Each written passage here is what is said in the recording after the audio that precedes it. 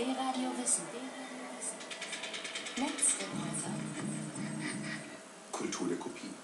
Ein Computerbefehl hat die westliche Kultur ins Herz getroffen. Steuerung C.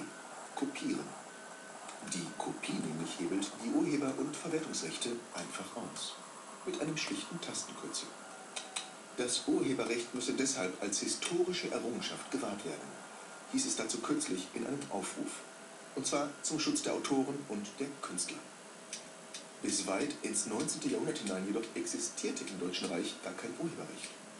Und das hat weder dem Buchmarkt geschadet, noch den Autoren.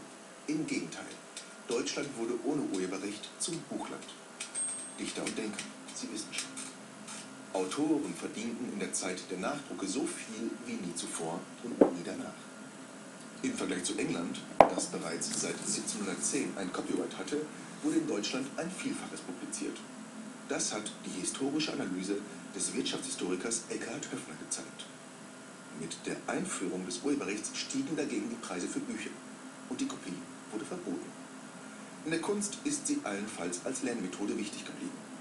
Dabei kennt auch die Kunstgeschichte zahlreiche Episoden der Nachahmung.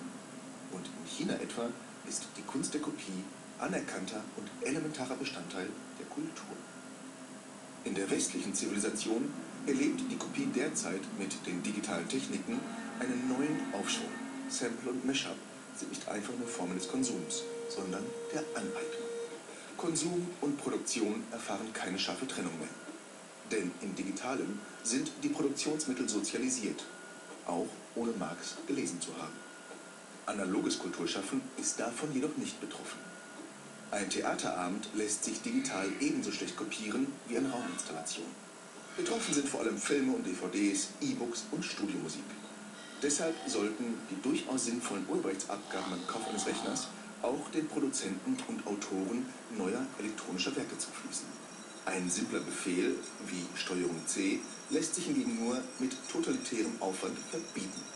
Klammheimliche, kompromisslose Durchsetzung des Copyrights wäre das Mittel einer Diktatur, aber nicht einer freien Kultur.